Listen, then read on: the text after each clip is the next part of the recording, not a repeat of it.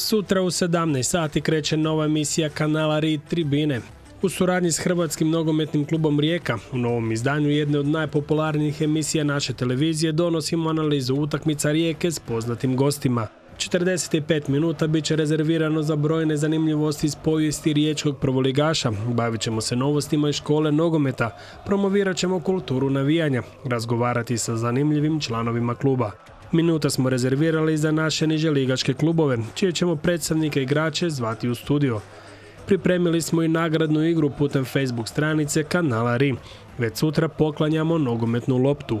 U prvoj emisiji u studiju nam dolazi predsjednik Rijeke i do predsjednik HNS-a Damir Mišković, te jedan od rijetkih trenera koji je trenirao četiri najveća hrvatska kluba, Nenad Gračan. Budite s nama sutra u 17 sati, repriza je u 21 sati i 10 minuta.